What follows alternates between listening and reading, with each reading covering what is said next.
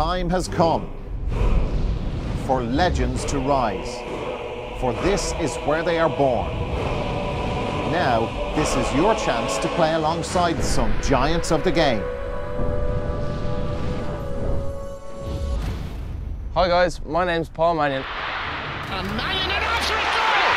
Paul Mannion! This is the Go Game Skills Challenges, and today we're doing the Solo Run Challenge.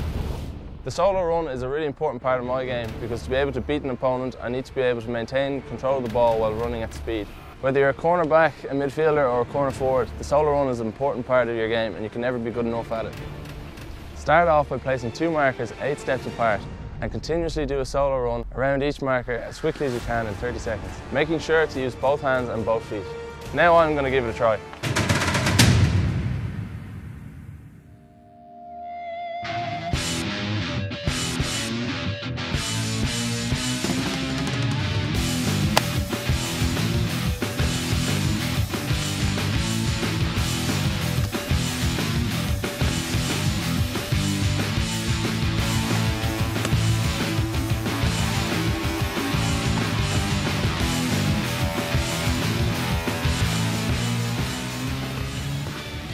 Okay guys, I got eight. Now we're going to see how you do. Make sure to upload your videos to the Swipe TV app.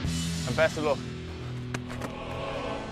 To be in with a chance of playing alongside some giants of the game, simply record a 30 second clip of you taking the skills challenge and upload it to the Swipe TV app.